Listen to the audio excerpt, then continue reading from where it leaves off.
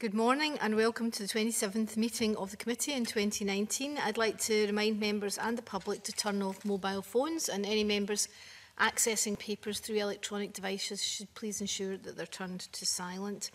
This morning we return to the committee's art funding inquiry. The purpose of this session is to consider comparative approaches uh, to the funding of the arts uh, and building on the research that we commissioned earlier in the year from Drew Wiley. I'd like to welcome our panel of witnesses this morning. Orla McBride, uh, the Director of the Arts Council Ireland, uh, Nkur uh, Olin, and Agnesa Moody, the Director of Creative Europe. Um, we've received apologies from the Chief Executive of Arts Council England, Dr Darren Henley, OBE. Uh, he was originally confirmed to give evidence at today's meeting, but he has declined due to the rules of PERDA being in place ahead of the upcoming UK general election. Um, I'd like to start uh, perhaps by um, ad addressing my initial questions to, to Orla. Um, a large amount of the time for our inquiry has been looking at how, how we best support individual artists and creative practitioners uh, in Scotland. Um, and we've obviously, through Drew Wiley, um, we're very interested in, in how you do that in Ireland. Perhaps um, for the purposes of, of the record, you could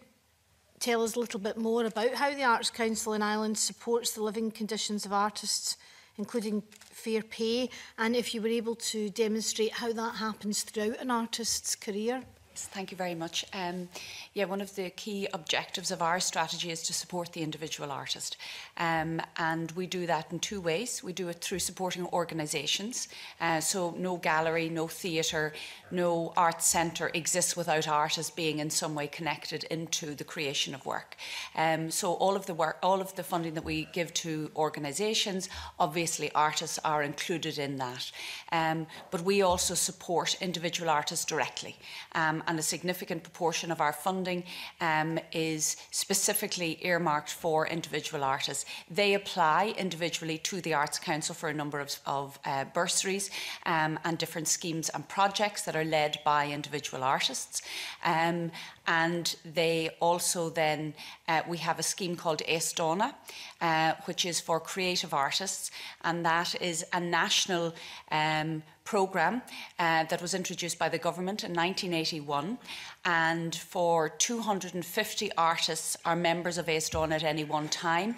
all of them can receive what is known as the CNUS, uh, which is a stipend, a grant from the Arts Council by virtue of their membership of AS Donna. So to be a member of AS Donna, you must have a body of work behind you. So it's not one novel or one book of poetry. It is a body of work. So it's mostly artists mid-career.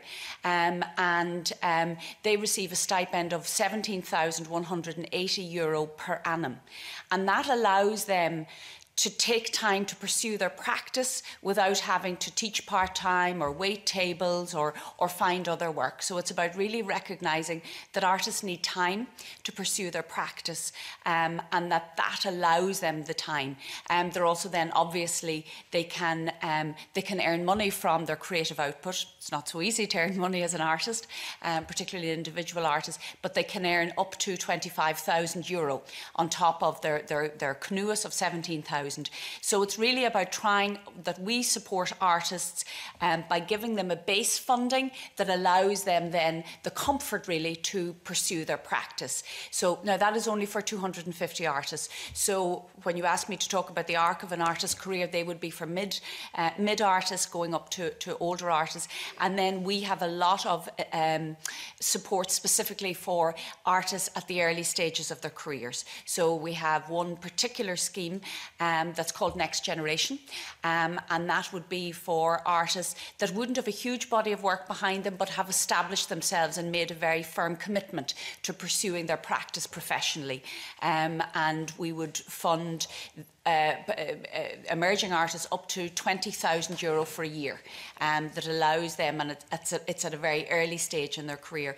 So those would be the kinds of supports. We would support about 600 individual artists on an annual basis through both the CNUIS and then through a range of other schemes and awards. And all of the decisions as they relate to supporting individual artists are made by peer panels. So it's peer assessment. So it is not the Arts Council sitting making decisions about individual art. It, it is the pe- it's your peers.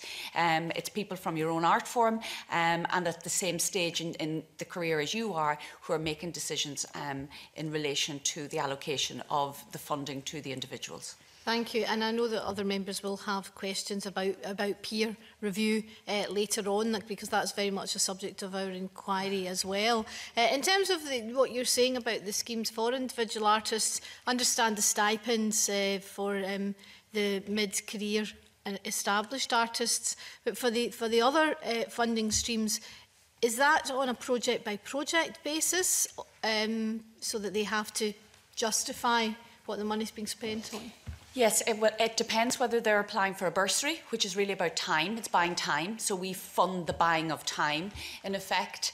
Um, and the majority of bursaries would be about the 20,000 euro per annum. Um, and that, as I say, is about buying time. Or it could be a project where they come to us with a particular artistic idea, um, and they want they want that funded if they're a visual artist or they're they're a theatre practitioner or they're a dance artist. So it depends really on what what the artist if they want to create a piece of work. Um, it may be that they apply for a project, but if they want time to pursue an idea, then that would be a bursary. How bursaries do you give out in a year? Uh, we would give out about three or four hundred. Right, that's quite, yeah. it's quite a significant It is number. quite significant. Um, And um, yeah, as I say, the average would be about 20,000 uh, per annum. And people can apply, you know, for multi-annual bursaries as well. So it might be that this year I want to pursue a particular idea, and then next year I want to actually bring that idea to life. Right. Um, so, so yes. Um, however, I have to say that um, we will never be able to meet the level of demand.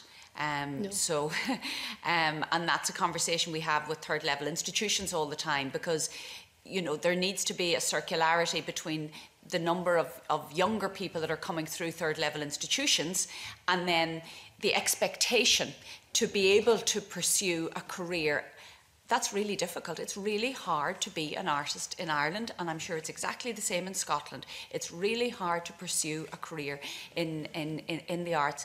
We, in terms of individual artists and uh, bursaries and projects for individual artists, we can only ever meet, I think the, the, the last year's statistics, the 2018, um, was 27%. So right. of the level of, of, of application that we receive, we can only meet about 27% of the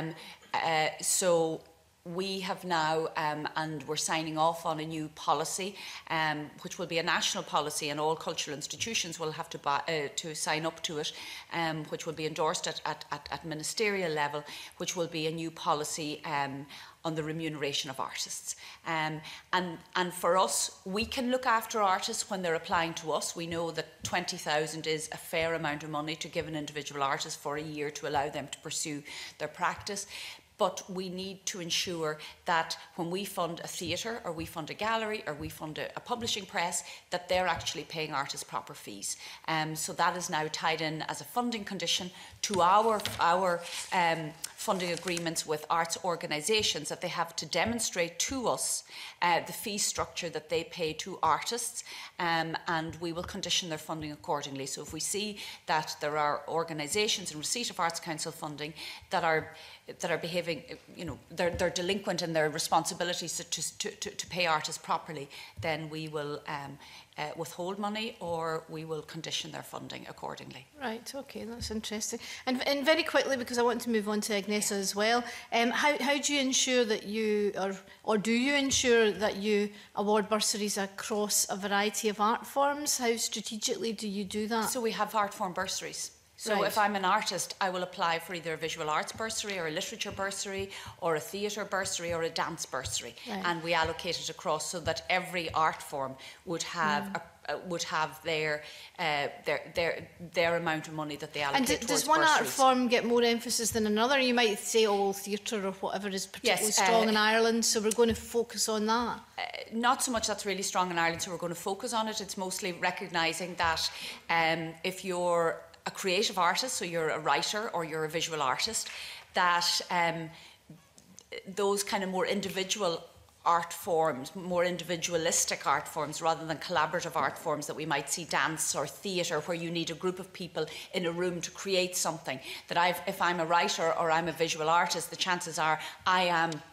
pursuing my practice individually. So therefore, there would be more put into literature or put into the visual arts, recognizing that there are more individual artists in those art forms, whereas in dance or theatre, it's much more collaborative.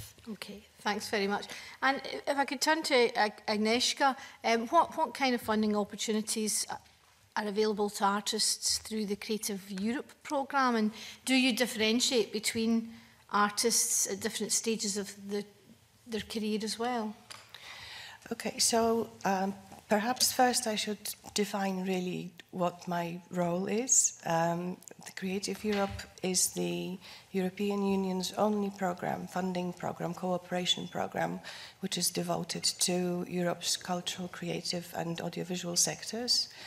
It's, it's the pan European program um, that uh, has a budget of 1.46 billion euros over a seven-year period, and the current edition lasts until the end of 2020. The, the feature of this program is that um, it has what we call desks in every country, Creative Europe desks, which are information and promotion points for the program, which itself is administered from Brussels centrally for all participating countries. So in at the European Commission, there, there's a policy team that is looking at the delivery of the strategic aims of the program and its evaluation and budget. And then there's executive agency that is responsible for administering um, the funding. So they uh, come up with the guidelines, application forms, and the applications are also sent to them. Uh, the work of the agency is assisted by the um, rather vast pool of uh, industry and sector experts. So it's very similar to what my colleague was saying about uh, peer assessment that also applies in Creative Europe with international dimension um, written into it. And then the role of the desks is this sort of bridging device between the sector in any particular country and this sort of center in Brussels, because Brussels might be a faraway place for lots of cultural operators. We, the desks, are devoted to looking after the sector in our country. So in the UK, I had the team. I head the team uh, of Creative Europe Desk UK, which is a partnership between um, British Film Institute, where I work, British Council, Creative Scotland, Welsh Government, and Arts Council England. These are our partners. We are designated by the DCMS to deliver promotion and information awareness raising on, on, on the program in the UK. So I just wanted to make that distinction that um, Creative Europe itself is administered out of Brussels, but in every country there's an office such as the one that I lead. Okay. Um, there was a question about artists and when when are they supported in their careers. I think it's not um, it's, it's any, any time that they need to be supported. There's a lot of support for young and emerging talent, uh, but it doesn't mean that people at different stages of their careers cannot be supported. Um, what's important to understand about the Creative Europe is that it has a set of clearly defined objectives, and any application that comes for funding to this program has to um, satisfy those objectives. So artists and cultural operators might think of a great variety of different exciting projects they might want to embark on, but in order to get funding, those projects would have to be aligned well with the objectives. And the objectives are quite smart because there's a very interesting tension between them. The two main objectives of Creative Europe are almost pulling in opposite directions because one of them is to safeguard and promote the cultural diversity in Europe, including linguistic diversity and promotion of the cultural heritage. And then equally important is the objective of competitiveness. So it's more of an industrial agenda. It's about strengthening the sector, which is already performing rather well, similarly to the UK narrative that creative industries are the sector which is growing faster than other sectors and it's worth investment because it's it's future facing and it's um, contributing to all those societal issues that we so badly need solutions for. So all that, all, all those narratives are very well aligned between the UK and, and, and the EU, and the program is trying to achieve on both. So in any project, there will be a different sort of um, if you look at it at the, as a spectrum, some will be more kind of industrious in their uh, ambitions, and some will be more focused on, on diversity. But it will always be somewhere on that line. So any application, any project that comes to, to Creative Europe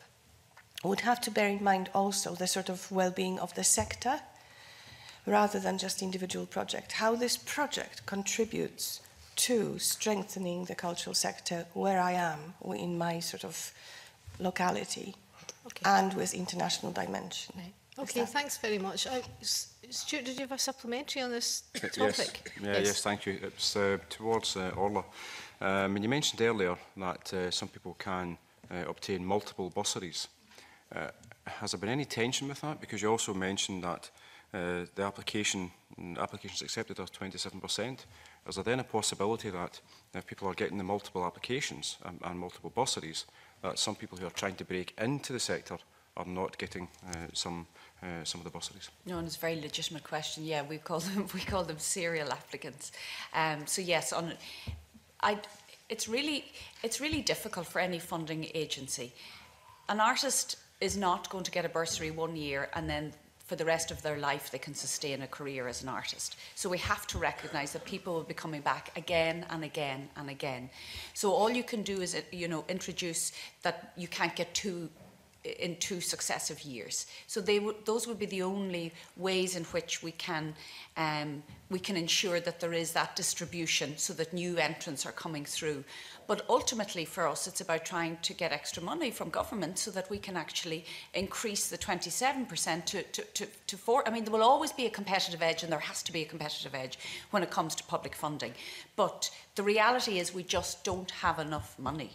to put in. If we had more money, then there is nothing wrong with an artist being successful in making an application if they weren't successful, if, if, their practice wasn't good, they wouldn't they wouldn't be successful in, in, in the application process. So but we can't penalise them for success either. It's our job as as as, as public agencies to try and, and, and increase our resources or increase the, the, the, the allocation that we put into individual uh, artists so that that we can increase from 27 to 37 to 47. So we shouldn't be penalising artists because we are underfunded as a public agency. So it's a really delicate one and we're never ever going to solve it. So all we can do is say, well, you can't apply two years in a row, or you know, you can put those kind of um, uh, eligibility checks in place. But it's really, really difficult. Yeah, thank you. Thanks very much, Claire Baker. Um, thank you, convener. I'm interested in Orla's last comments and wondered when it comes to the Irish government if the funding that the Art Council receives, if it has remained stable in recent years or if it's increased or decreased and if there's a percentage figure you could give for how much do you know the share of the budget you get, how much that is overall of the Irish government's budget? Um, so, no different to any other um, country in recent years, we suffered, you know, quite a significant recession, um, and our funding dropped um from 85 million euro in um 20 or 2008 to the lowest point, which was 55 million um in 2013 and we're back up now to 80 million. Um, and and that, that increase really happened from 2016 onwards. Uh, so in those middle years, we were literally just trying to keep the doors open and the lights on, um, and there was no. But but but in those intervening years, it allowed us to radically change the way in which we do, did business. Um, and, you know, there was a complete paradigm shift in terms of how we saw ourselves as an organisation, and we went through a major transformation. Um, you know, as they say, you know, a good crisis can give rise to, to, to opportunity. Um, so, so we changed completely the way in which we do business as, as a public agency. Um, so, so the increase has happened just as we have, have changed course um, in terms of, of, of our direction as, as, as a public agency and um, becoming much more developmental in our approach, being much more evidence-based. Organisations apply to the Arts Council for funding to support the Arts Council to deliver on our remit and on our strategic objectives rather than this passive funding that I want to do A, B, and C, here's the money, now off you go and do A, B, and C. That actually it has to be a much more engaged relationship between arts organisations and the Arts Council. Um, in terms of, there are many statistics in terms of the um, the percentage of GDP that is allocated to the arts and culture in any country. There are European statistics, um, and often we're at a loss as to how those are calculated. Um, There are statistics at a national level, um, but they comprehend the entire culture spend, not just the spend on the Arts Council, for example. So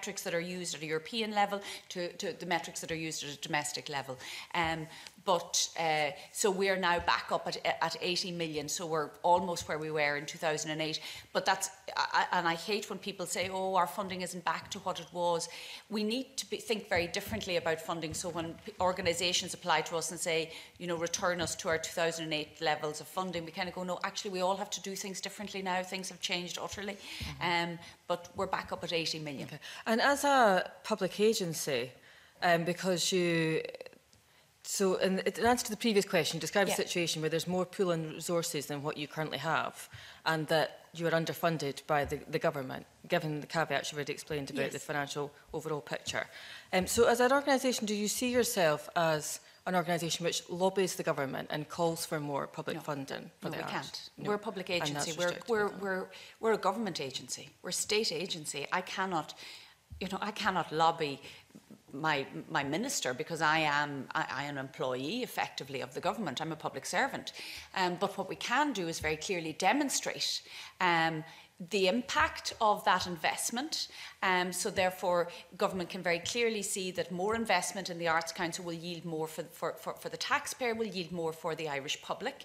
Um, but also to very clearly demonstrate that those percentages. So if we can only fund 27% of the number of artists that are applying to us for support, then look at the swathes of artists that are, that are struggling to make a living in, our, in Ireland, and yet we claim to be a country that, that values and nurtures and supports artists. Mm-hmm. So it's about presenting the arguments in a very clear way um, with robust analysis, um, and that's all we can do but we cannot become we cannot come out publicly mm-hmm. and, and, and that, that still government. sounds like quite a lot and sounds like you're you could, you make a robust case yes. for what you're able to deliver and what the potential there is. Um, if I move on to relationship with local authorities, yes. um,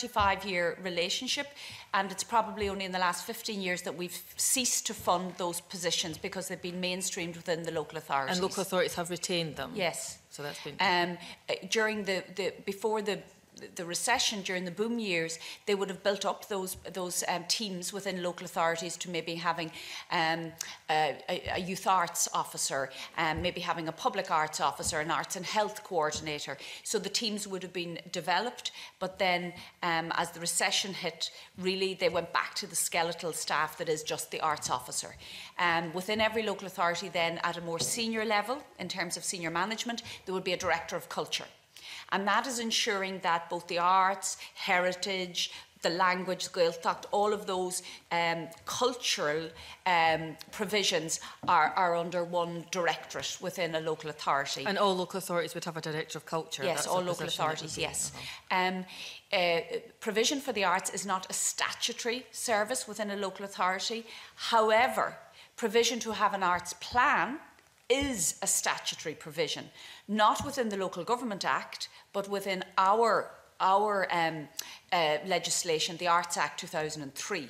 So every local authority under the Arts Act 2003 must have an arts plan for their local authority area. And then in terms of, of funding that, Uh, so we have, as I said, since uh, 1985, uh, that strategic partnerships. We continue to fund pro, uh, pro, at a programmatic level. We continue to fund with local authorities. We fund and they fund. So it's it's it's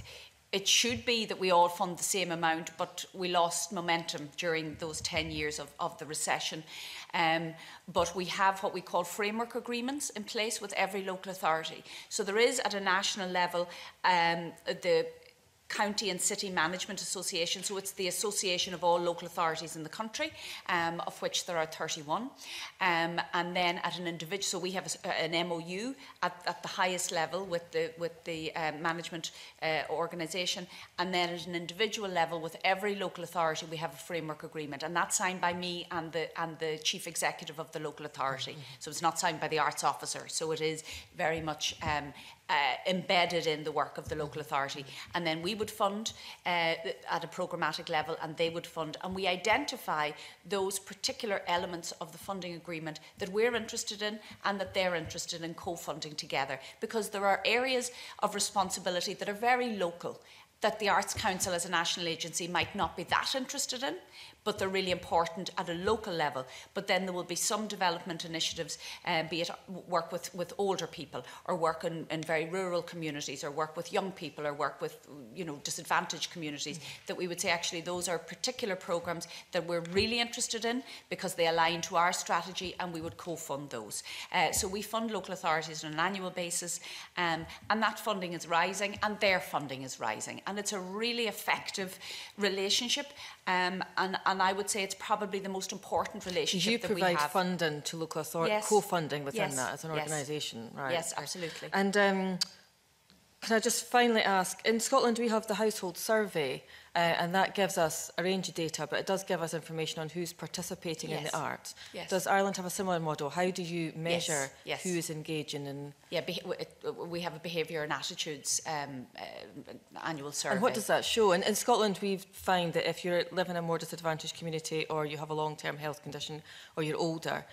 you're less likely to be engaged in the arts. Is that a similar pattern in yes, Ireland? Yes, absolutely. You know? And yeah, so you still yeah. I mean, it is, trying to address it, those issues. And those are the big issues that we have to how, how to mm-hmm. reach hard to reach communities, be those from a demographic perspective, an economic perspective, or a geographic perspective. Those are the big challenges that we have okay. um, because we're seeing that it's the same people. Um, you know that are going to the arts and, and so in a way um,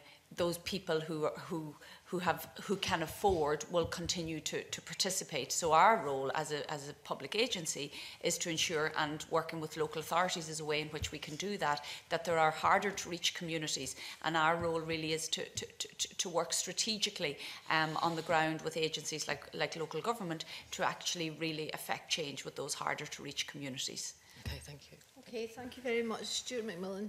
Uh, thank you, Convener. Uh, just a couple of quick questions regarding uh, a scheme called Percentage for Art. Uh, I know that's uh, it's an operation uh, in Jersey. I know obviously Jersey's not in the EU, uh, but it's a, it's a scheme that's been oper- operating there for uh, some like 14 years, and it's been raised with uh, this committee uh, in terms of evidence from uh, certainly a group in my constituency called Rig Arts. Um, is it something that, uh, are you aware of this scheme and it's something that, the, uh, that you think would, is useful and Uh, that's something you would recommend uh, that, uh, that, we introduce in Scotland? so if, if I understand it, we have the Percent for Art scheme, which is tied into public infrastructure projects. Yes. Is that similar? Yes. Yeah. So, so we, have, we have that scheme um, in Ireland. Um, so I, I'm, I'm sure the committee all know. So where there are public public investment, public infrastructure programs, that there is a percentage of the overall fee for um, for the, the building project, be it a school, be it a road, be it whatever, um, is allocated to um, to the arts, um, to the provision of of of of of, of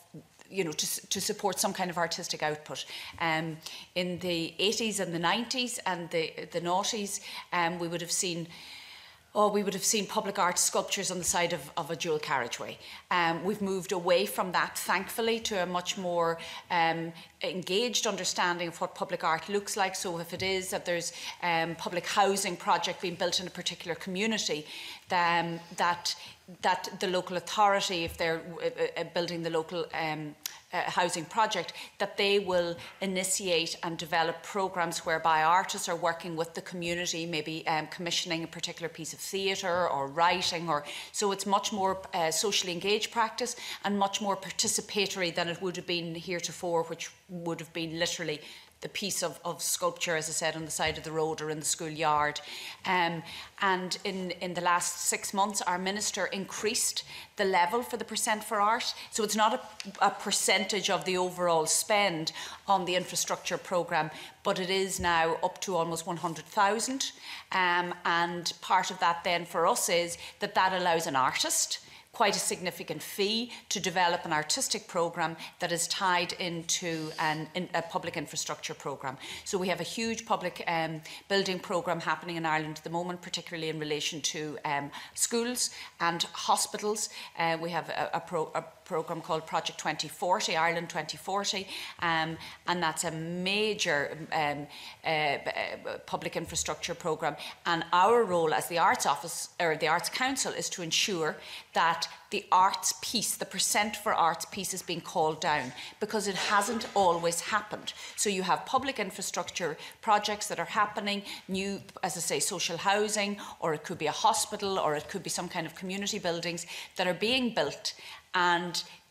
th- there is a percentage that is there for an arts project or an arts commission that wasn't being called down. So the government have come to us as the Arts Council and said, can you take responsibility so that every single public building project that happens in Ireland over the next 10 years, that the, the, the percent for the artistic project and the artistic spend that should come from that is happening and that you're working across every government department because every government department, be it the Department of Health, Department of Education, um, Department of Local Government, they're all involved in public infrastructure programmes. And if there is a percentage of that overall building project that should be allocated to the arts so that an artist and a community can, can get the benefit from it, then that's really important to us. So yes, so, so we have been tasked by the government to take responsibility for that and ensure that it's happening because it's lost money to the arts. Um, so again, when you ask the question how much money in terms of overall spend is put into the arts, there are initiatives like this that are not being exploited to, to, to maximum um, effect. So that is our role now, and we've been asked in the last six months to take a much more proactive role across government in relation to it in that kind of transversal piece. Okay. Um, and just on that, um, uh, what would you say has been the, uh, the problem in the past for not all of the money being drawn down? And what's been the logjam? Um, I would say that government departments didn't know about it. Okay. So they don't, they, they wouldn't, they, they, didn't know about it, um, or if, you know, say there's a school being built that the school principal wouldn't actually have known anything about it So our role now is to ensure that we put together an inventory of all public um, infrastructure projects that are happening on an annual basis or, you know, over the next five years, plotting them out and then ensuring that we're working with whoever it is that is the commissioner, in effect, of the, the building project to ensure that they are calling it down.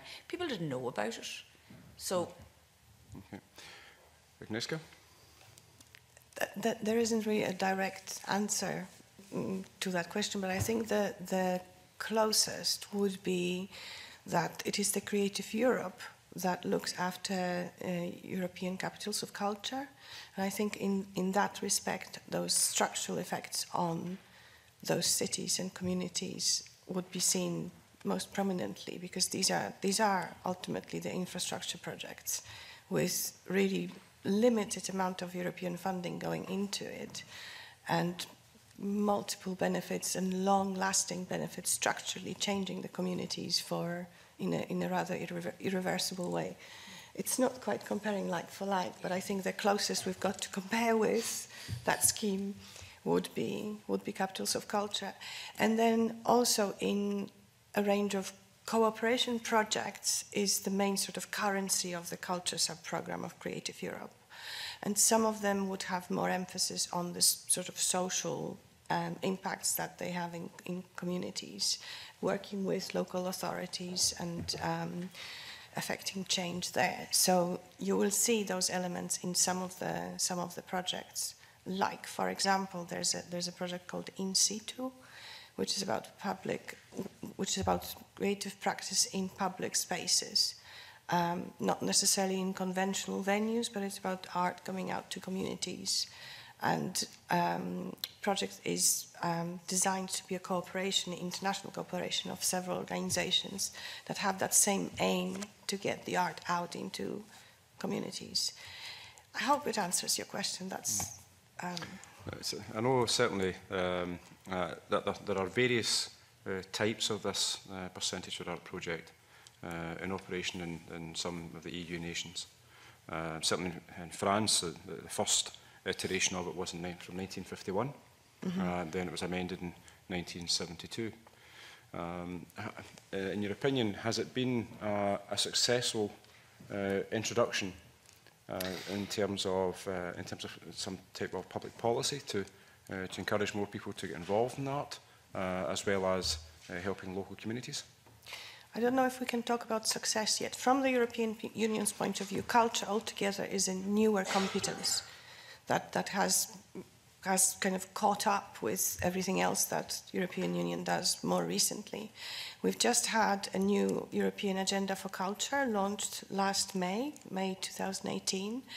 And I think maybe a reflection of what, what, what you're talking about is in the, there, are, there are three dimensions of European Agenda for Culture. And the first one is the social one.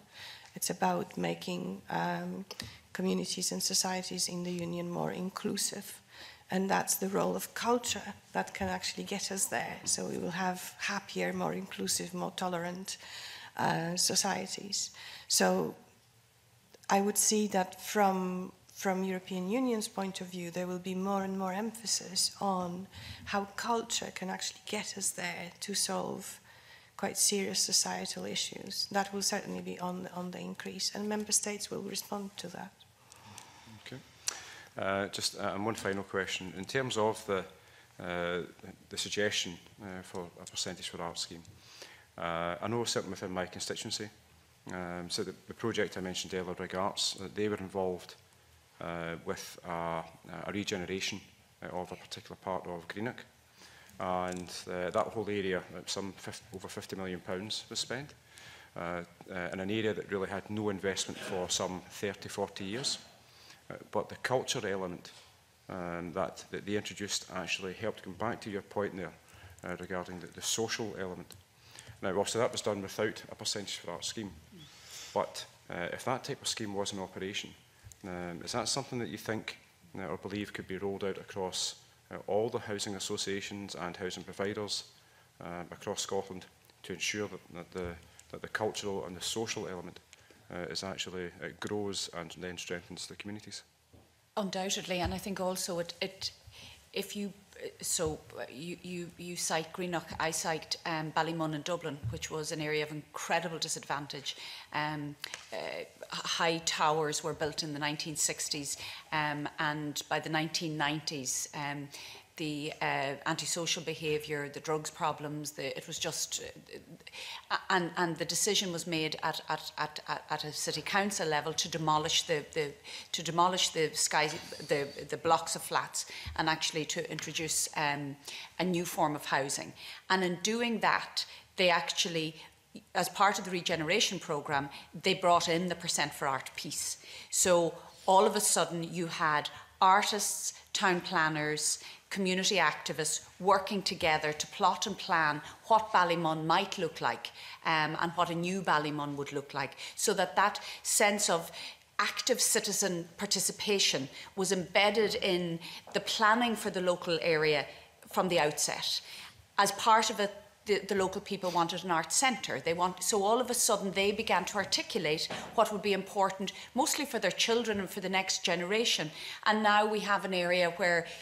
you you have you know uh, you have a whole. I mean, there's a whole new public housing um, a public housing uh, scheme in place, but you have now an embedded arts infrastructure. You have artists. Not only uh, do you have an arts centre and you have artistic uh, organisations based there, but actually you have artists living and working there and they're as embedded in the community as everyone else. So it was quite a transformative, and it has been it has been I mean, it's too early to say it's only 10 years, 12 years, but it had quite a transformative effect in terms of the local community. And if you go to it now, just that sense of of, of pride and ownership, um, which didn't exist um, in the 1980s and the 1990s, is now there. So I absolutely do genuinely believe in the the transformative power of the arts.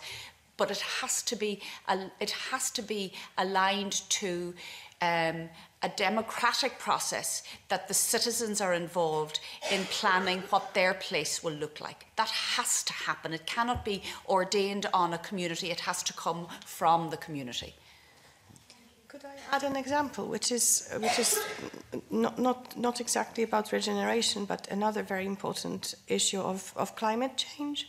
So there's, a, there's an international project that is supported by Creative Europe where Creative Carbon Scotland is a partner and it is about cultural adaptations. It's, it's, it's four pairings in four countries of cultural organizations and adaptation organizations that are usually linked to local authorities, where artists have been asked to contribute to the debate about climate change in local communities and offer new thinking, new ideas, new uh, perspectives. Um, as it happens across four countries, there are obviously also learnings from one country to another, and there's actually going to be an international conference in Scotland held next year in 2020 with support from the Scottish Government to gather and accumulate all the learnings from, from that project. So in, in, in that sense, it's, it's the same theme about giving artists the voice to actually help find solutions to serious and important societal issues. Much. Uh, Donald Cameron. Thank you. Um, can I ask about the issue of data gathering, please, um, which I'm sure you'll recognise um, as a challenge that it's difficult to find accessible data showing the full picture of arts funding both nationally and locally. Um, in Scotland, uh, this committee uh, was told that as a result, individual artists and organisations have to demonstrate uh, the impact and outcome of arts funding. Um, so can I ask you both, uh, firstly, Orla, how does the Arts Council gather and analyse data to inform um, sort of evidence-based policy making? So this is, uh, so when I talked about us changing mm. utterly how we do our business. This was one of the areas that mm. we hmm. wanted to really look at metrics and we wanted to look at measurement and we wanted to introduce a measurement framework that, that we could then tell that story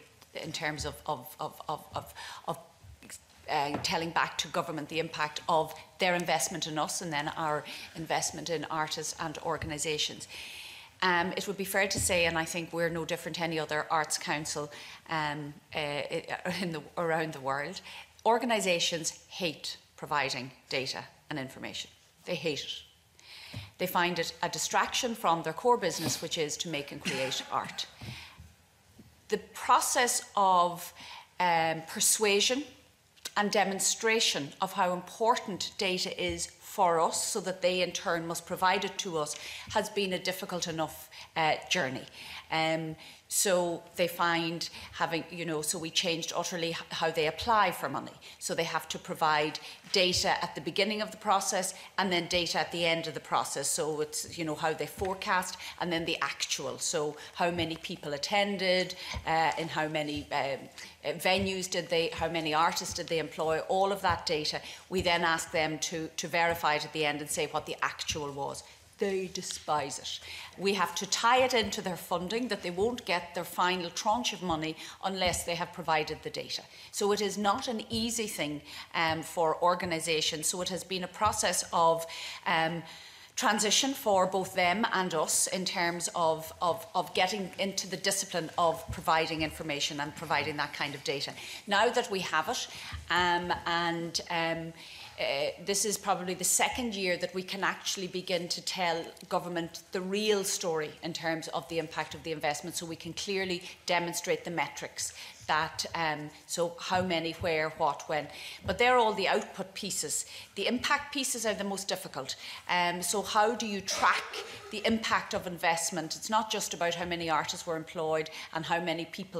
participated. It's the impact piece that we're most interested in, and that takes more time.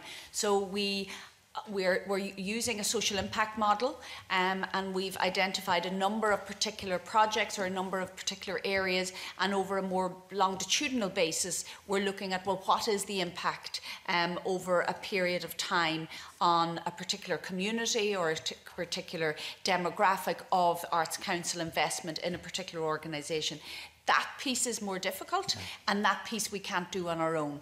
Um, but the output piece in terms of that very accessible data, the, the who, what, where, all of that, that, that is much easier to, um, to, to, to use and to, to, to, to, to um, to, to show and to demonstrate, but, but as I say, it has been hard fought in terms yeah. of getting organisation to, to provide it. They find, you know, we, we, we, people say we're becoming too bureaucratic, um, that it used to be lighter touch. We just get the money and we go off and do whatever we wanted. And we tell you that it was a wonderful production or, you know, it wasn't a wonderful production. Now you're asking us how many people came, how many artists were employed, how much did you pay the artist? And, and, and so we're getting... Um, you know, the shouting from the galleries now is the Arts Council is becoming too bureaucratic, it's becoming too too tied into metrics, etc. So it's a really difficult one to balance. Um, can I um, ask Agnieszka the same question? I mean, how, how does Creative Europe gather and analyse data? So I've got a bit of prospective good news for the arts. Um, part of Creative Europe and, and even better news for the other parts of Creative Europe because um, Creative Europe is really several programs in one. Mainly, it is an, a marriage of two previous independent programs one for screen sector called the Media Program, and the one for cultural sector, which used to be the Culture Program. So, in the Media Program, we already from the 90s have something called um, European Audiovisual Observatory which is the sort of research and statistics body that collects very useful data for the screen sector for over 20 years now. And it's very useful, and that absolutely helps to inform policy and is indispensable tool. Apart from very sort of bread and butter, several databases that they run on major metrics in, in the screen sector. They also churn out one after another very insightful reports on, I don't know, gender parity or on international performance of screen works beyond Europe. It's a continuous work that is happening in screen sector. That does not really exist for cultural sector. And before the proposals for the new incarnation of Creative Europe were published, that's where I would stop. But now I can tell, and I'm very pleased to say that, that it's foreseen for the new, for the successor of the, of the current Creative Europe that will commence in 2021. It is foreseen that a similar observatory will be set up for the cultural sector. So I'm sure it will not you know, be fully operational and have all the data from the start, but at least the data will start getting collected in a very systematic way using the model of that observatory from the, from the screen sector.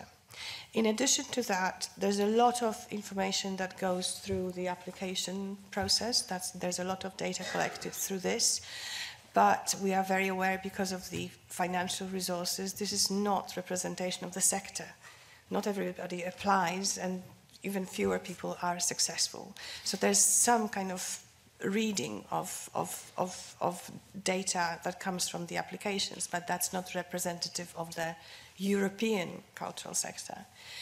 Another um, mechanism that looks at the data would be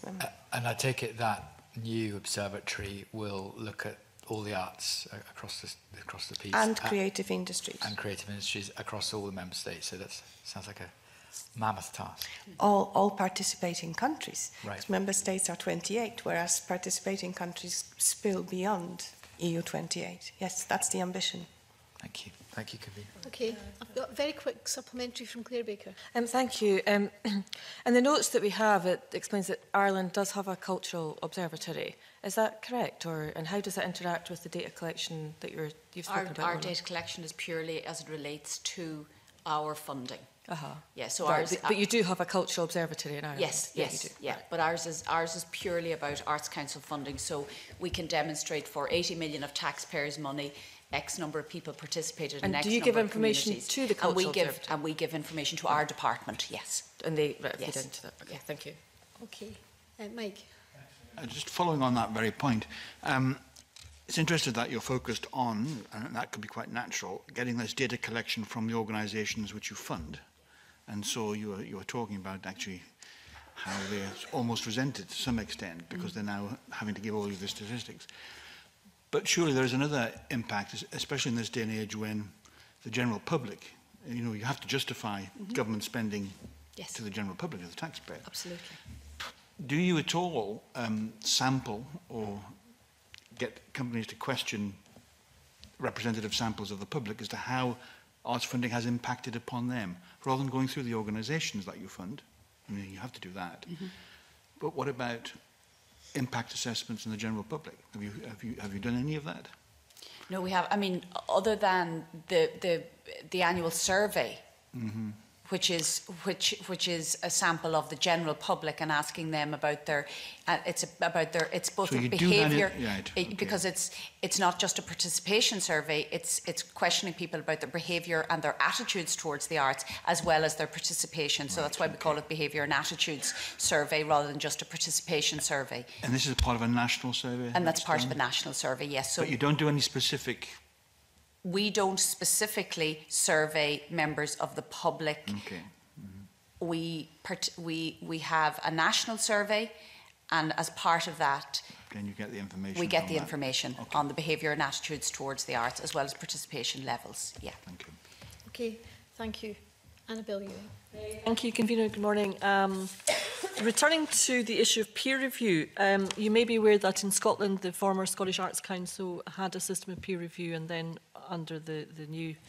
well, new, it's not new, new, but um, the subsequent arrangements under Creative Scotland.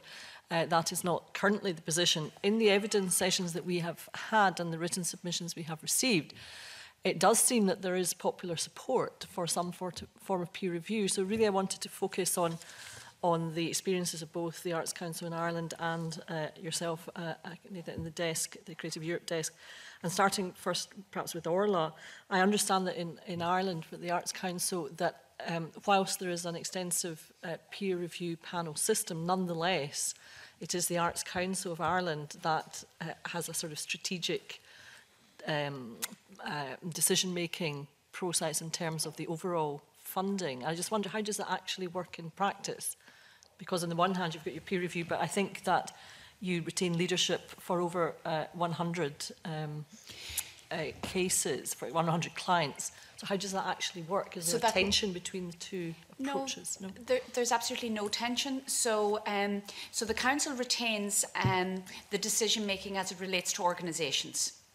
um, because we recognise that organisations, it's not just about an idea they have one year and they pop up and they apply to us and then they may dissolve the next year. We have a long-term relationship with those organisations. They're our partners in terms of supporting delivery of our strategy. Um, so they may have a not a great year, but that doesn't mean to say we're not, we're not going to fund them this year because they hadn't a great year last year. So we retain our funding to organisations um, because we see them as strategic partners. Whereas our funding to uh, for individual projects, once off projects, or funding to individual artists. That's all done by peer panels because we recognise it's only about the idea.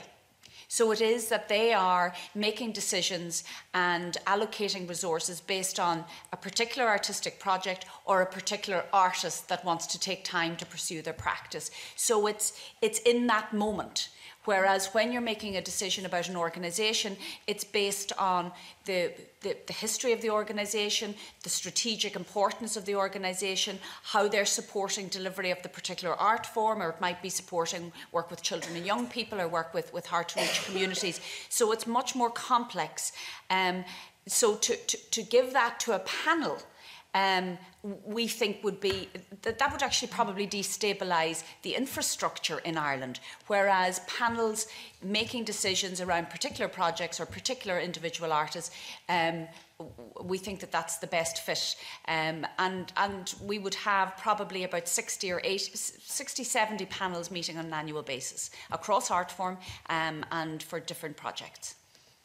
So, sorry, did you say 60 to 60, 70? Yeah, or okay. 70 panels. Um, because you might have bursaries, mm -hmm. and you mm-hmm. could have 10 bursaries because you'll have visual arts bursaries, music mm -hmm. bursaries, theatre bursaries, opera bursaries. So it's right across mm -hmm. all of the art forms. Uh, so, yes, so we have a huge number of panels that are happening on an annual basis. Um, but okay. we think it's a really effective way mm-hmm. of ensuring that the sector also can see um,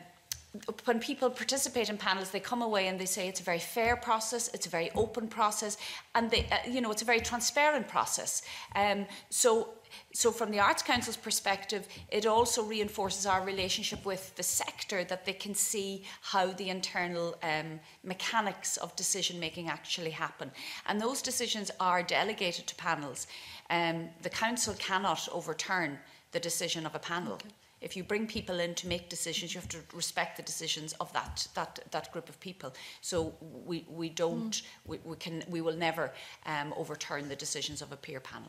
Okay, before I'm getting on to sp some specific uh, brief questions about the actual mechanics of the arrangements in place, because I think that would be of interest if we're looking yeah. to see if if this is what we feel is the best thing to do in Scotland, how actually we'd go yeah. about it. But just when you, you, you referred there to 60 to 70 panels, the first thing I thought was, how on earth does any timeless decision ever get made? I mean, how does that actually work? Because, you, you know, the panel is there to decide on a particular application. Mm. And it, there's 60 to 70 panels per annum. How, how does that all work? That's, I mean, presumably a lot of sifting has to be done uh, and um, there's a lot of activity going on. So how quickly would one expect if you were applying to a 16 panel weeks. An, as an artist. 16 weeks. 16 weeks. From date of application okay. to being informed. And that all works. And that all works because it's it's a machine that's right, okay. you know so you might have three panels meeting or four panels meeting in a day okay. to decide on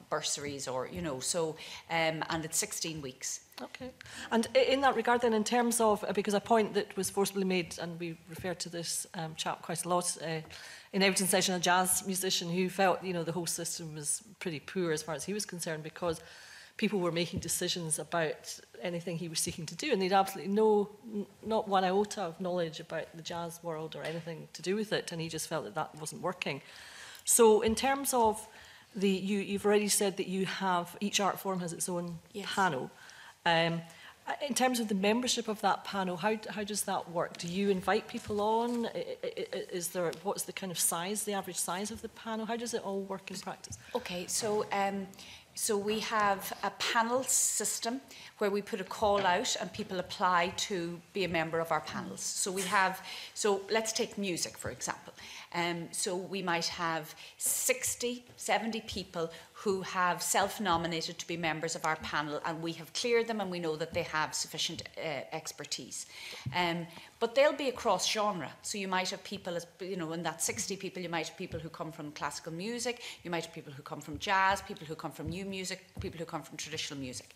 So then we put our call out and we receive I don't know, 200 applications for, uh, for a music project.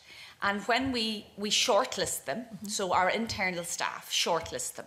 So 100 applications goes down to 70. And in the 70 applications, there'll be five from classical music, there'll be eight from jazz, there'll be seven from new contemporary music. So, in looking at the, um, the profile of the applications um, that have been shortlisted, we will then um, assemble a panel that will ensure that there's expertise okay. across all of the genre. Because you can't have five people on a panel um, that are all coming from a classical mm. perspective, and then you've got people from contemporary music or you've got people from jazz. So, so the profile of the shortlisted applications will determine the makeup of the panel. The number of applications will determine the number of people on the panel.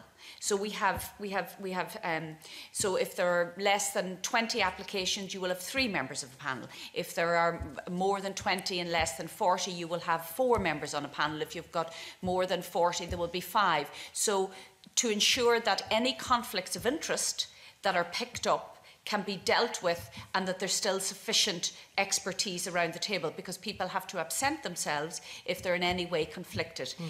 If people so when then the, the panel, and I might be going into too much detail, but when the panel members are selected, they will get a list of the applications, not they won't receive the applications, they'll get a list of the applications um, and um, they will then see if they're conflicted. Mm. And if they're conflicted and if there are too many conflicts, and we have a kind of a, a statistical, a ratio mm. piece, then they'll be asked to, to, to withdraw from the panel. If they've too many conflicts, if they only have one conflict and there are 50 applications, mm. we'll say, okay, that can be managed within the process. They'll absent themselves and then they all get access mm. online to a portal whereby they can, they read through all of the mm-hmm. applications um, they can, and all of the, uh, the supporting material and then they come in on the day and each panel is chaired by either a member of the current Arts Council or a, um, a former member of the council. Okay. I mean, it's, it's fascinating to hear how that, uh, that quite significant uh, degree of, of machinery, if you like, which is in place, uh, is, is working well in practice. It, I, I take it then that it seems to me, from what you've said, um, broad brush, that actually there's a lot of buy-in to this approach because it seems you have a pool of very interested, willing members who want to be involved in this. Yes. Uh, and there's buy-in, and I presume therefore that means that at the other end, in terms of the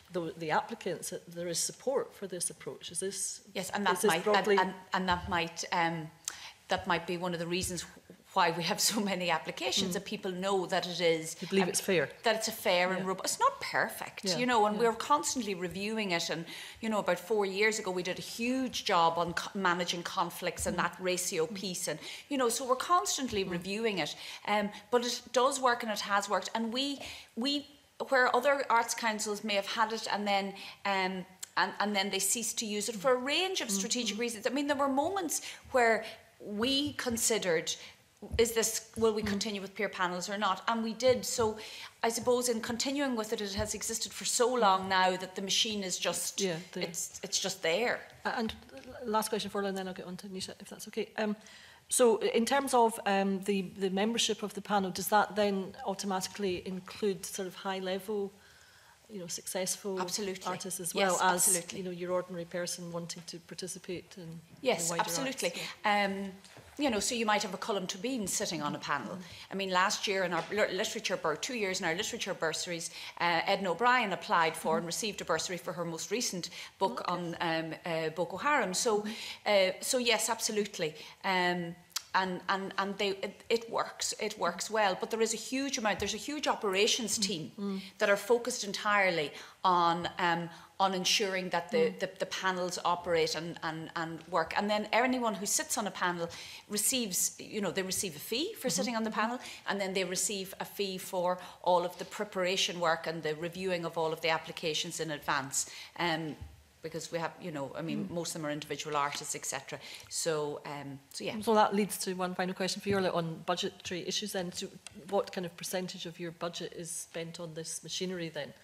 if we were seeking to introduce machinery, we would need to have an idea of, you know, is it worth it in terms of cost, the benefits, etc. So, I mean, we don't we, we don't see the, the fee piece as being that huge, you know, because we see it as another way of us supporting individuals and, and, and artists. Um, so it is, there's a team of four whole-time equivalents that are working, servicing the, the, the, the, committees. But we see that just in terms of the long term, in terms of our relationship with the sector, mm -hmm, mm -hmm. Um, as much as anything, that it's, it's money well, well spent, really. Good. Well, oh, fascinating. Um, Anisha, what about uh, from your perspective, how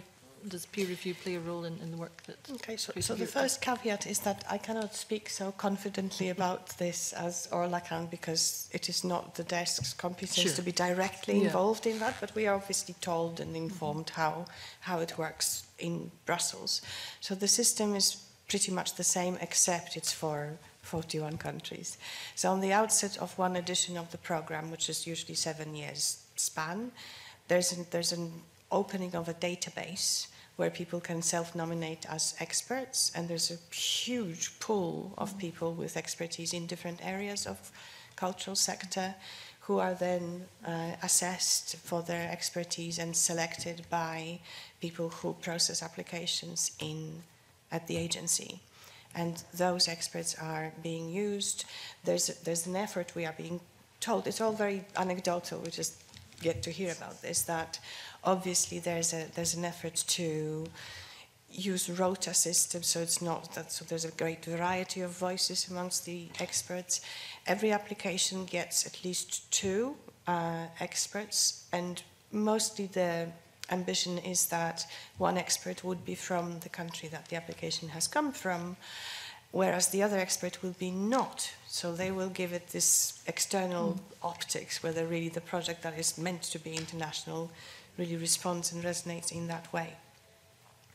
Experts are paid fees, and this is part of the kind of overheads bill of the of the program. They're quite modest fees, but it's a similar principle that we are all there's this peer quality about this that we all kind of look at each other's projects and help each other select the best. Um, what I what I would like to stress though is that it's, it's quite transparent that starting from the published guidelines for the, for the different types of support, there's, there's a kind of unified system of 100 points that any project can score. And those 100 points are sort of divvied up uh, across several priorities and objectives that the projects have to score against. So it's not so much about the experts sort of taste or personal view, but they're very much bound to what the objectives and priorities of the mm. program are. They have very neatly designed experts' guides that they have to literally tick against boxes whether each application responds to this priority, to what extent, and in the end, applications score a number of mm-hmm. points. That system has kind of, you know, enthusiasts and, and critics, mm-hmm. But that's, that's how it works with, with Creative Europe, that at the end of the assessment process, every application ends up with a number attached to it. Now, we, we, we, we do suffer from, um, in a good sense, from um, the, the Creative uh, Europe's culture sub-program in particular being very much in demand with very limited resources, so the success rates are quite law. There's lots of applications that mm. come in. And beyond this individual assessment that happens all over the continent, there's a big job then to try mm. and coordinate somehow uh, which projects should eventually get selected. So obviously the point system helps a great deal because a lot of them go to one side. But then there's this sort of exciting area where it could be this way or the other. Uh, the, and, and those projects get the attention of a panel again, which would look not only about at the individual application in their own right, but at, at the mix. Because again, we have to look after many different areas in the, in the cultural sector, so you don't want to end up with this year our projects being heritage. or this year all projects being performing arts. So, so that will be the added value of the panel looking at the mm. more or less good split between different areas.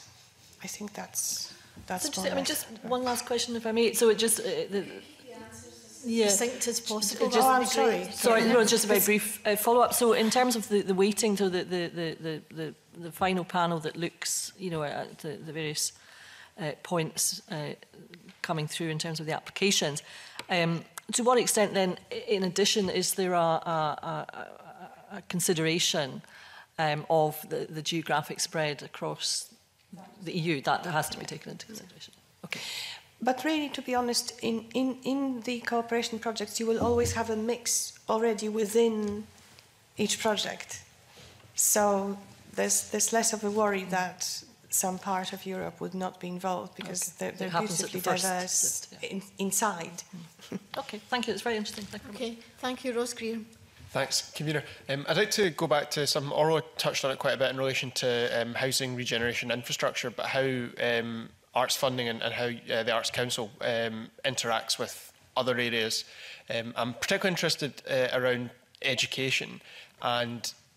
your your level of interaction uh, with primary and secondary education in particular, and what level that primarily happens at. I don't know if, you, if you'd be able to detail a little bit where the integration happens there.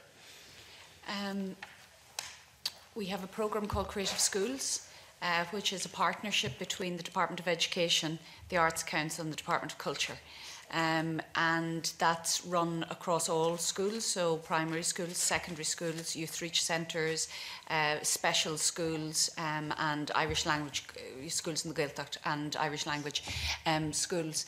Uh, and that is probably the most um, Uh, the most public manifestation of our relationship with the Department of Education. So that is a programme that is rolled out um, nationally, not in every school because it's quite a costly programme, um, uh, but it, um, it sees each school that is part of the programme uh, developing a creative plan for the school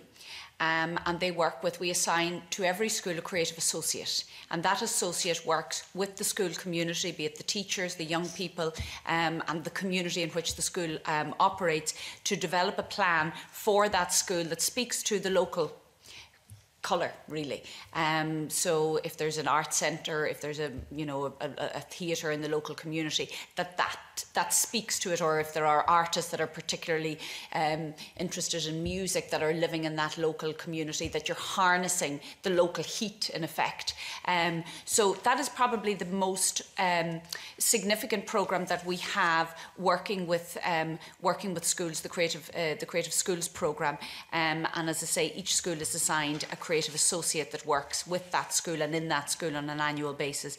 The other then would be our, our um, and, um, and these are devolved out to organisations, um, but we would have the Writers in Schools programme and Artists in Schools programme. So Poetry Ireland uh, is a, a national organisation, works both north and south, and they would operate our uh, Writers in Schools programme. So we would have 80 to 100 writers that are out in schools working on an annual basis and then the same would exist for uh, artists in schools as well so those would be be examples of and then obviously individual organisations would have particular programmes in schools and local authorities would have quite developed programmes that we would support through our direct funding to local authorities that would that that would um, engage with the schools in their local um, their local authority area.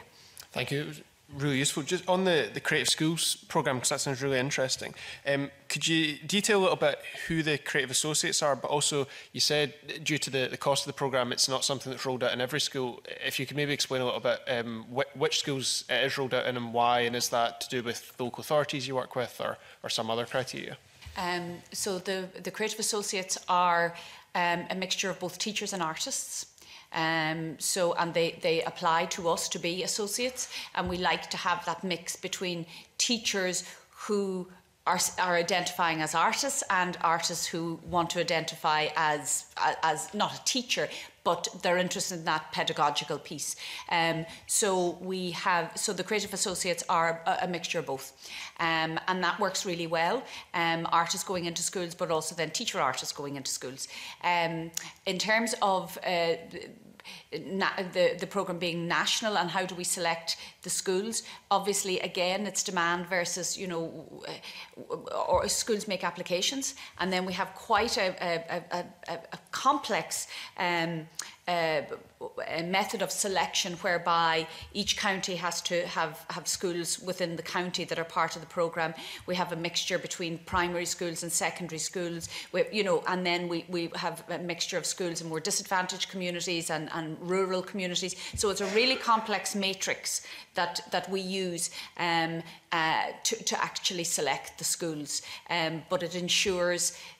that because you know, it's not the best school over the, you know, so it's not, oh, they're the best school, so we're going to to to to, uh, to um, select them. So it has to be done in a more spatial and uh, a spatial way, um, as well as a, a kind of a more uh, yeah, so so it's complex, but it's ensuring that every county, every profile, every type of school is, is part of the programme. How long's the Creative Schools programme been running for? Uh, this is its third year, right. so it's young enough. so in that case, I'm actually quite interested in how that came about. I think our experience here is, is often to, to get that level of integration.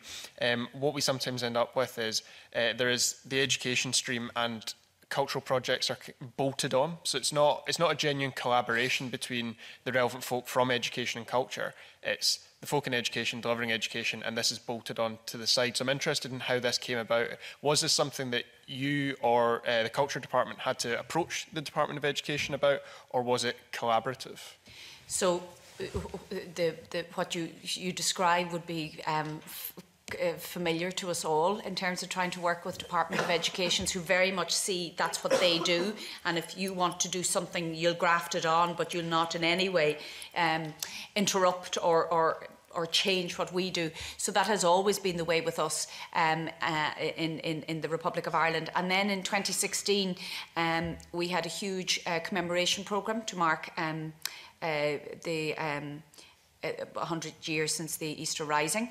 Um, and the, one of the biggest the legacy programs that came out of that was how schools became involved and they young people um told stories about 1916 about the revolution um but did it in really interesting ways with artists in their own local communities and in their own schools and people the, the whole country was just transfixed really by uh, by young people owning a story that was 100 years old and retelling it uh, in a real in really exciting ways um and the state uh, the government as part of that decided that, that there was something really special that happened in Ireland in, in 2016 and that we needed to capitalize on it.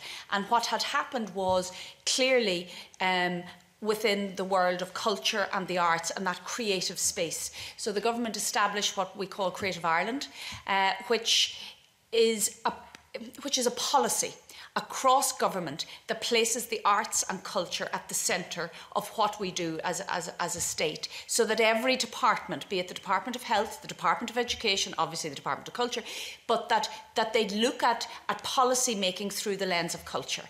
Um, so that enabled us and gave us the permission slip in a way to sit down in a very different way that with the Department of Education and say, well, look, is there a way in which we can embed culture and creativity into education that will not, because their whole thing is leave the curriculum, that's ours. And that's always been this kind of defensive.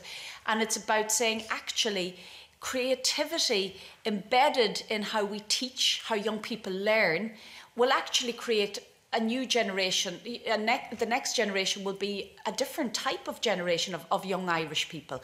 So, how do we embed this um, way of thinking, way of teaching, way of learning? Um, how do we embed that in, in, in, the, in the system?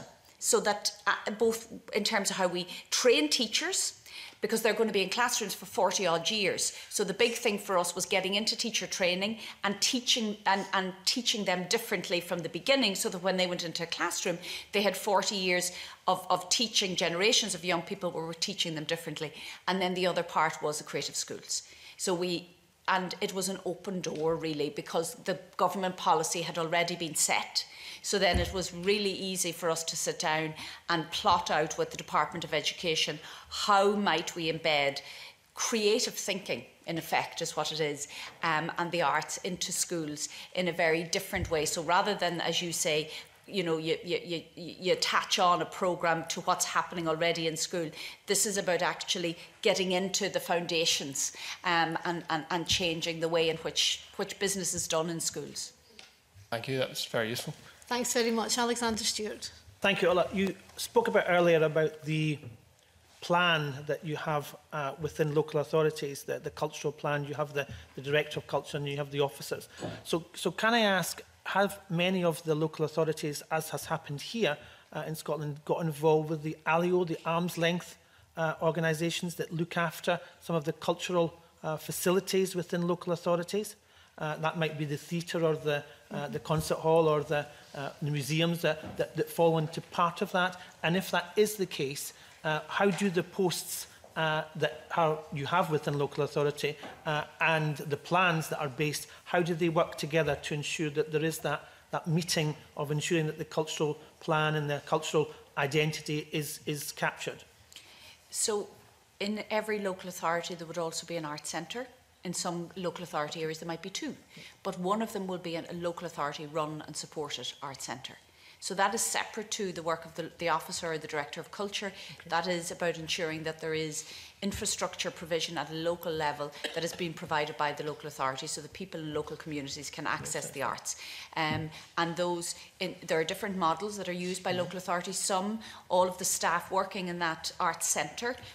would be mm-hmm. local authority employees. Yep. In others, they set up spe special purpose vehicles um, or, or, or, or, companies limited by guarantee, um, but they are effectively local authority run um, they have independent staff, etc. But the lion's share of the funding to run it would come from the local authority, then with with significant investment coming from ourselves. So they would all have responsibility for a venue in each local area that is separate to, but augments what's happening in terms of the director of culture and the arts officer. And that's a really important mm. thing for us, yep. and we then co-fund them together.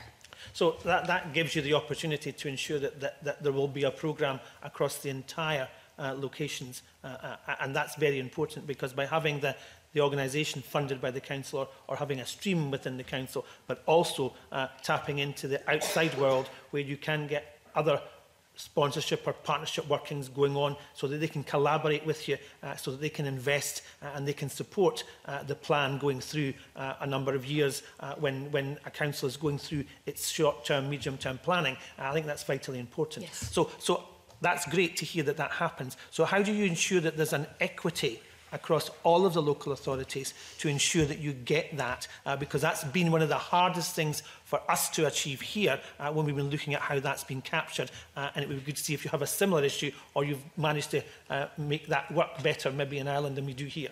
Well it's very difficult. Yeah. Um, so last year,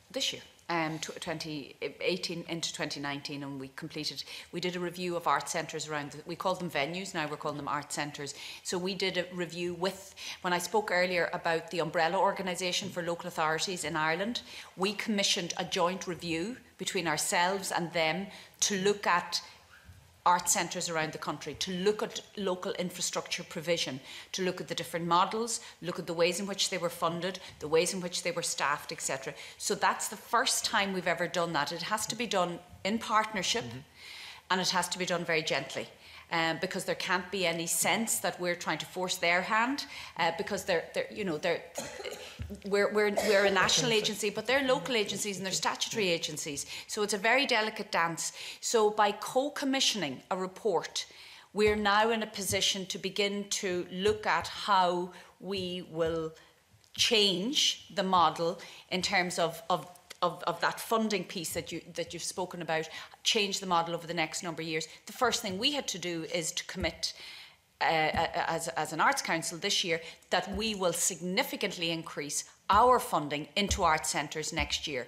We cannot sit across the table from local authorities and have a conversation about increased spend from their perspective if we're not doing the same. So that was the first thing that we had to do. And that allows us then to start having those bigger, more strategic conversations next year because at least we have this co commissioned report in front of us that gives us the, the analysis and gives us the evidence you can't have conversations without it, um, particularly with partners such as local government that are statutory partners. So that's how we've done it, um, and that's and, and it's not done yet. This is only year, you know, we've just commissioned the report and now we've had to to, to show show willing in terms of increasing our investment, and that's at the point we're at that point now.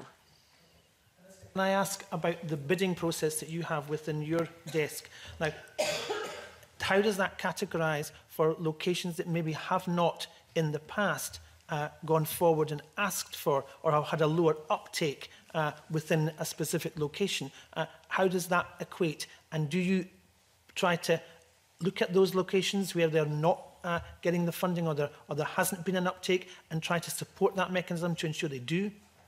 Yes, so um, this is where the value of our partners yeah. comes into play because the desk is quite a mix that there are five key public organizations in, in, in cultural sphere that are all mm-hmm. around the table. So I think actually with Scotland, we're in a happy place because the activity and engagement in Creative Europe is by no means limited to Central Belt. There's organ organizations in outer Hebrides that get Creative Europe money.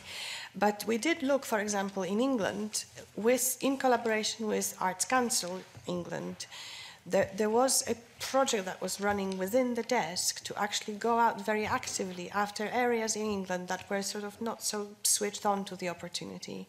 And some sort of um, success um, was achieved, or even, even if not so much success, but more the reasons for lesser engagement were more clearly identified than the barriers and and those learnings can be then shared with arts council because what's really important about creative europe is that this is the sort of this is the program that is not a replacement for any public funding available on local national regional level it's it's, it's meant to add value. It's made, meant to be this enhancement that gives the international dimension. So it's very useful to share those learnings uh, with, the, with the national agency and then see how that potential could be unlocked. Thank you. Thanks very much. Can I just ask very quickly, do you have a physical presence outside Dublin? No. You don't? No, we don't. Okay, thanks very much. Can't afford. Kenneth. yeah, yes, thanks very much, Kevin. Uh, good morning, um, panel. Fascinating discussions over a whole range of areas this morning. I mean, first, I was wanting I wonder if I can ask Agnieszka. When we, we've got a very detailed report looking at all the different ways in which arts are um, delivered across Europe, and it's incredible how they've evolved so divergently. You know, um, over the years, it's also interesting the the, the the the way in which culture is considered so differently in many countries in terms of its priority, not just in Europe, but of course in uh, uh, in, in places like Quebec, New Zealand, etc., that, that are covered in the report. But one of the things we're grappling with in terms of this uh, inquiry is how we can obviously ensure more effective delivery of arts funding in Scotland. And I'm just wondering, given the, your wide knowledge, one would think of uh, European arts funding, etc. Well, we all appreciate that the probably the bi biggest uh, and most important thing we could do for the arts is to deliver more money for distribution per se. Is there any kind of model, for example, that could either be adapted by Scotland or could be looked specifically at Scotland that you think could deliver most effectively for the arts? Um, obviously, Orla's sitting next to you, so you might want to give a nod to Ireland, but maybe not. I mean, where, where do you think they've actually got it right, if you uh, uh, to put well, it I that way, from, if I can, from, I can put it that way? From my point of view, where the money goes, where the money goes is to connect people. Mm -hmm And that is so crucially important because the, the investment through Creative Europe really is to collapse borders, make people more mobile, work with each other, inspire each other, find new audiences, unlock new markets. And that is where that is, that is where you can expect some investment to, to come back when you open those opportunities beyond any one particular country. So thanks to Creative Europe and its very limited resources, we've got this extra layer in um, a sector which is extremely vibrant in, in, in every country and beautifully diverse and in all sorts of languages and historical backgrounds and all that, east, west, south, north. Um, there's this added layer where we all meet and open up and can work with each other.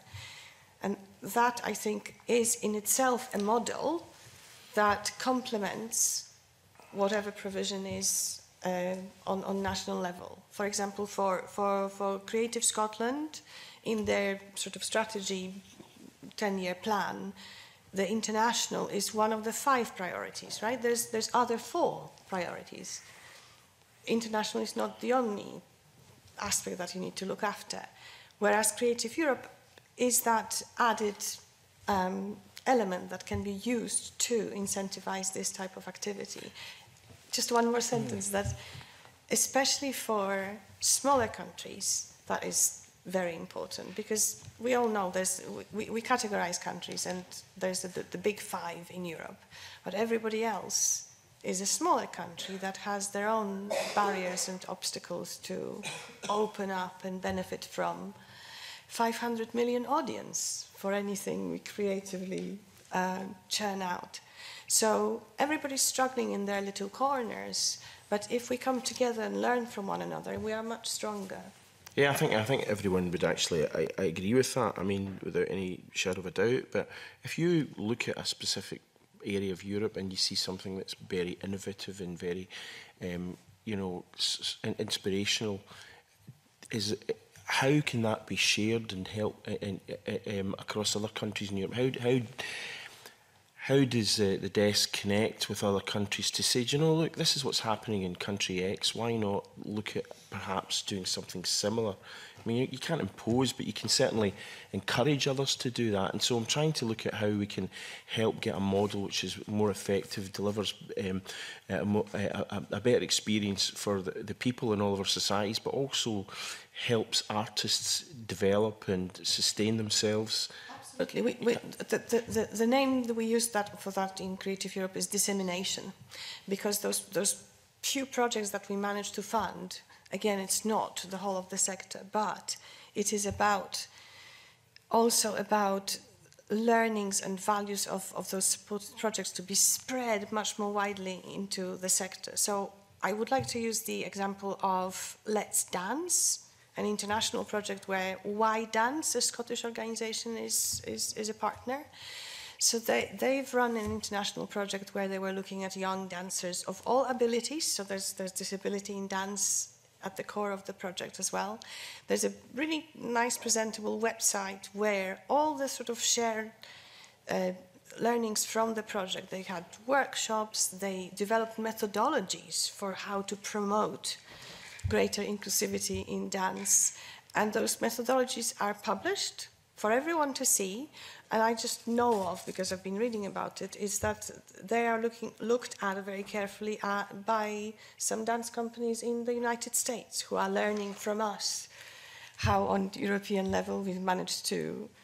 make some gains and achieve something in, in, in that very area. So a lot of that is already happening. And it's true that with technology, perhaps we could share even more what we are all learning from one another. There are uh, physical gatherings, events, forums, conferences where cultural operators come together to um, to swap their thoughts and experiences. I'm not quite sure how we can do more of that, but it, it's already happening.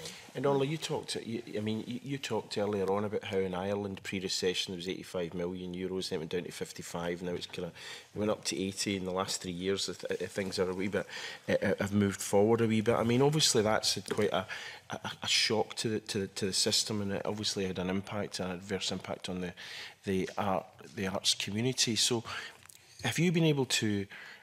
how have you been able to adapt to that in order to be able to continue to deliver um, uh, the kind of services that you want to do to encourage more people to to come forward and to try and um, have a life in the arts, so to speak, with these kind of pressures. And the, and the question I asked originally was, is there anywhere you would look to in Europe to say, you know, that is really where we could be, or, or further afield, where, where we could emulate, um, but you've not quite been able to do so yet?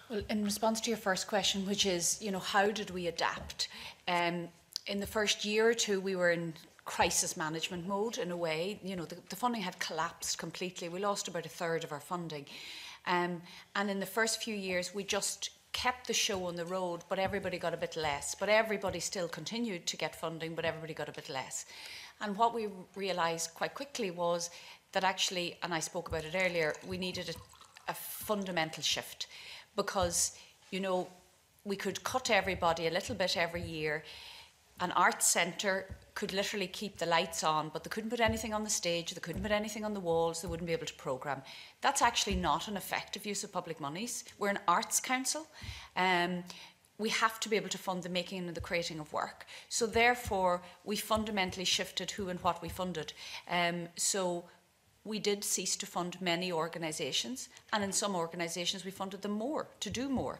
Um, uh, and there are many organisations that do not exist now in 2019 in Ireland that it did exist 10 years ago. So that's the reality of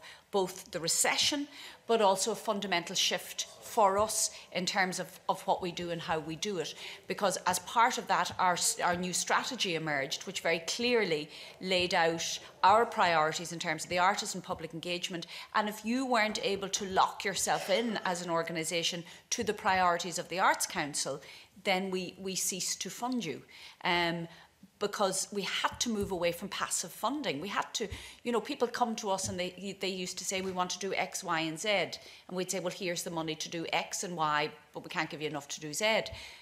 Without any calls on that.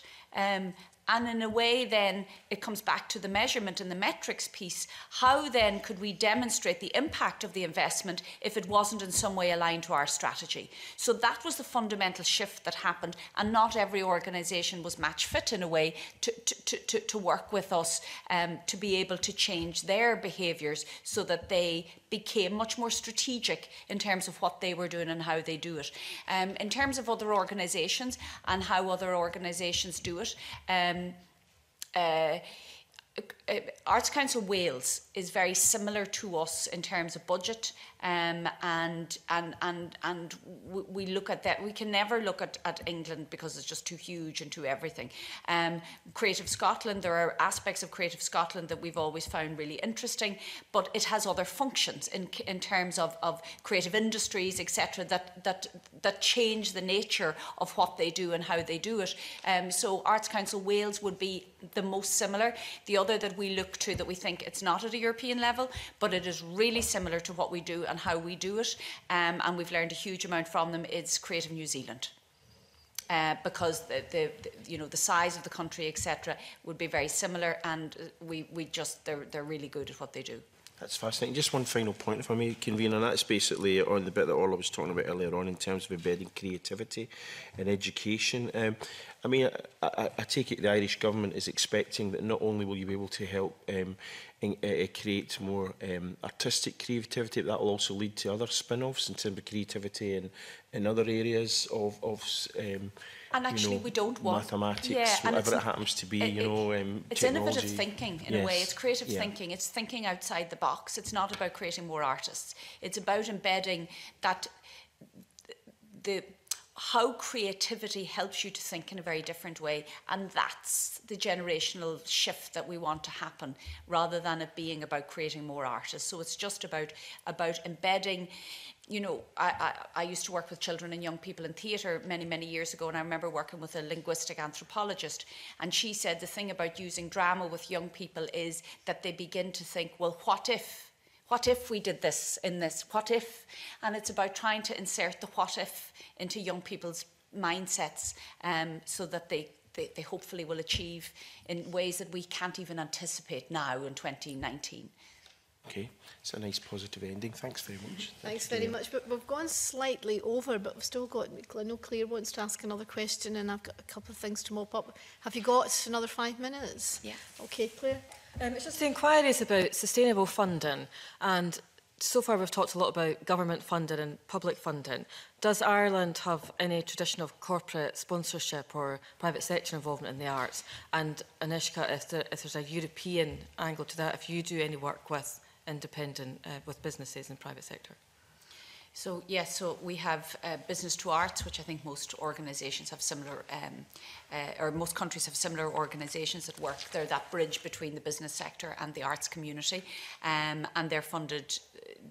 directly by both business and by our, our Department of Culture.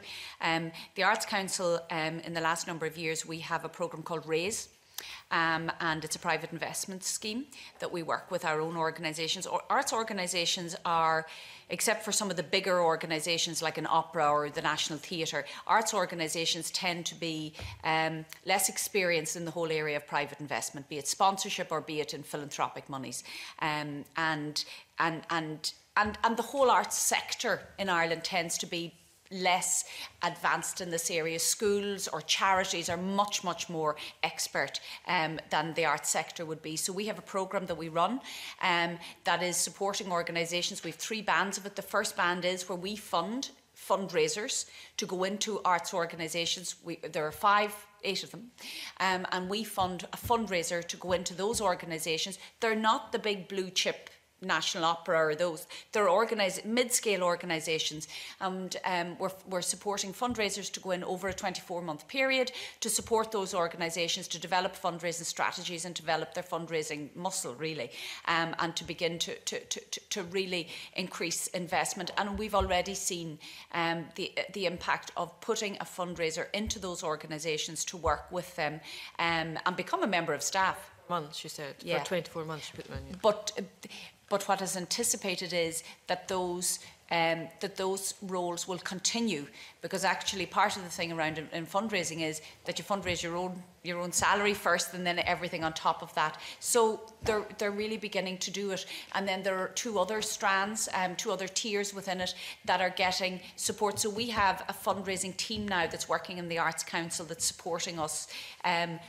to, to, to, to deliver training um, and supports to organizations to really build their muscle in this area, but it's slow.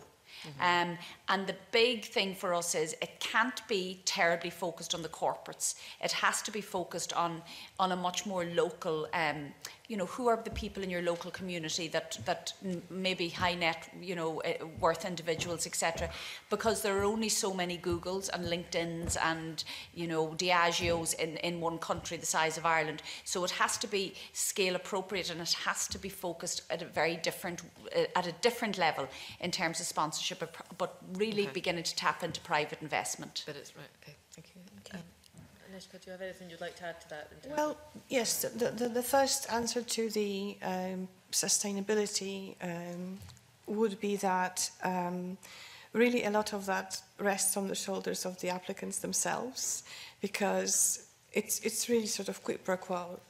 Tell us how your project will contribute to making the arts sector more sustainable through your activity that you're proposing, and we will give you that investment that will enable that. The expectation is that at the end of the project, the organization is stronger and is contributing to a stronger sector. I think, very crudely speaking, that's, that's the whole premise that any applicant to Creative Europe needs to have that reflection of themselves and their space, their, their place in the sector, and their sort of ambition to strive into making themselves more sustainable. We, apart from a newer, um, there's a very new now uh, mobility scheme, international mobility scheme for artists, which is a new feature of the program called iPortunis. Maybe people have heard about this. This is very new, but until now, all the money has been given out towards those cooperation projects or platforms or networks, which are really led by organizations rather than artists themselves. There's no grants for individuals through Creative Europe, but artists are very much straight when you get delve into the projects artists are at the core of them however they're managed they are managed by cultural organizations that would be achieving those goals towards strengthening the sector and making the arts more sustainable. So that's, that's to answer first question. And second, about um, partnership with the private sector. Again, it's pretty much on the shoulders of the applicants that there's always requirement of much funding. And a lot of that comes from other public sources, but private sector is very welcome to co-finance all those projects. So organizations go out to private companies as well for sponsorship deals or other sorts of support. And with with this premise that they have a prospect of getting European funding, they make themselves a bit stronger. I think that they come with that proposition to operators in private sector. Thank you. Okay, thank you. Uh, just quickly to wrap up, um, first to Agnieszka. Um, you did describe Scotland as a happy place in terms of how um, Creative Europe's funding was working here in terms of it being rolled out, particularly geographically. Um, what will be the impact on Scottish arts um, from Brexit uh, and uh, presumably the end of your funding? And is it, is it possible for a country which is not a member state to tap into Creative Europe?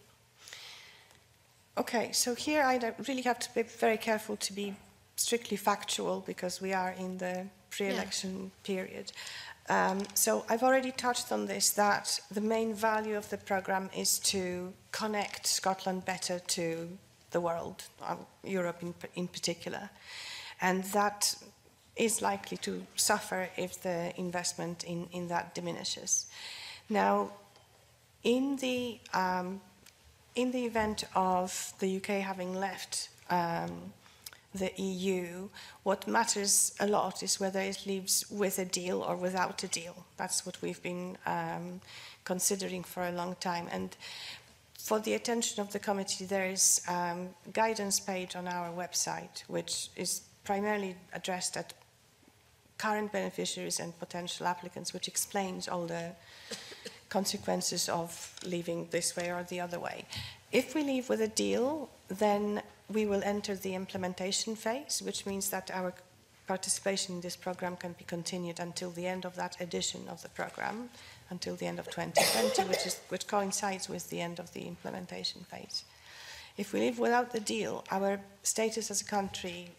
changes overnight, and the day after no deal exit, we are a third country um, in the sort of um, dictionary of the EU, which means sudden loss of access to Creative Europe. Now, going to the, the, the, the, the rules of the program, which are written into its legal base, which is another document which is published on, on, on all, all, all websites, there, there are strictly defined rules on which countries can and which countries cannot participate in, in Creative Europe, both in current program and in the next edition, which is already uh, um, quite, quite advanced in its preparation because it's supposed to be launched in 13 months' time. So the rules stipulate first, first very important point is that the program is not limited to participation by EU member states. Currently, there are 41 countries that take part in Culture Sub-program of Creative Europe. So it is theoretically possible for um, countries that are not uh, EU members to negotiate their way into the program. It happens on the basis of bilateral uh, negotiations where a government of a country reaches out to European Commission and negotiates the access. As the program is funded by the EU budget, uh, those countries that don't contribute to, to EU budget have to contribute to the program. So what, what changes that what would be expected from the UK post exit is that it pays financial contribution. Okay. So, as a non EU member state, UK could possibly be a participating country if it negotiates its participation. Now, if it didn't, there's another way to still be involved and engaged because The programme allows for participation of third countries in a limited way, only as associated partners and only roughly in budgetary terms up to 30% of a project could be with a partner from, say, Thailand or Canada. But um, it is still possible uh, to to to be involved. So so there are those two um, scenarios. Thank you very much, and that's very factual um, uh, summation of uh, the situation. Thank you very much, and just absolutely finally, uh, Orla, th this this um, inquiry was really kicked off by a bit of a, a, a crisis in Scotland when uh, a regular funding organisations, which is a, a three-year cycle, a number of them were not refunded, and there was a bit of a stooshy, as we say in Scots, uh, around it.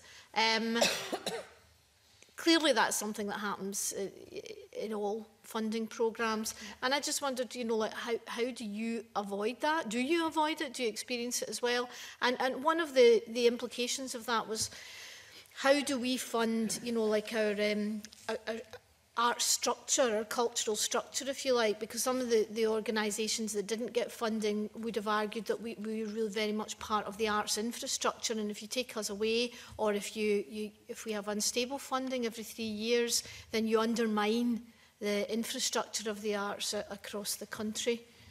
It's really, really difficult. Really difficult. And particularly with the arts, it, the arts tend to be very vocal.